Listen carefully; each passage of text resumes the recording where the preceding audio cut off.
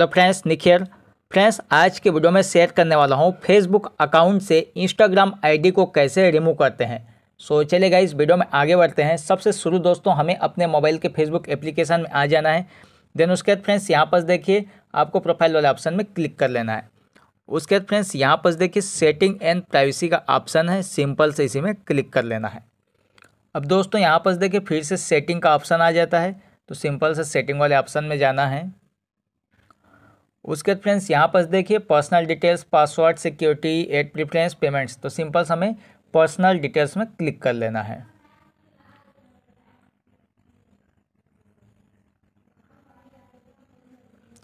अब फ्रेंड्स यहाँ पर देखिए प्रोफाइल्स का ऑप्शन है। यहाँ पर अकाउंट सेटिंग में अकाउंट्स का ऑप्शन है। तो सिंपल से इसमें क्लिक कर लेना है। अब देखिए दोस्तों, मेरा जो इस फेसबुक अकाउंट्स में दो इंस्टाग्राम आईडी लिंक है। यानी कि ऐड हुआ हुआ है कनेक्टेड है। सो दोस्तों, इसमें से मैं एक इंस्टाग्राम आईडी को रिमूव करके आपको दिखा रहा हूँ अभी। तो सिंपल से दोस्तों, यहाँ पर देखिए साइबर निक करके एक मेरा फेसबुक अकाउंट है, उसको मैं रिमूव कर देता हूँ। तो यहाँ पर देखिए इंस्टाग्राम आईडी है, उसी के जस्ट बगल में यहाँ पर रिमूव का ऑप्शन है। तो सिंपल से इस रिमूव वाले ऑप्शन में क्लिक कर लेना है।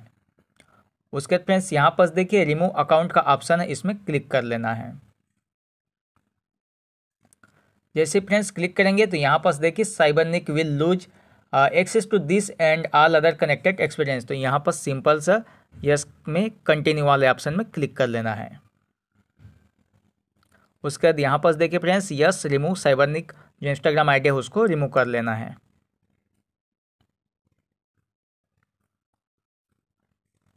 अब देखिए फ्रेंड्स यहाँ पर जो मेरा साइबरनिक इंस्टाग्राम अकाउंट था, वो रिमूव हो चुका है।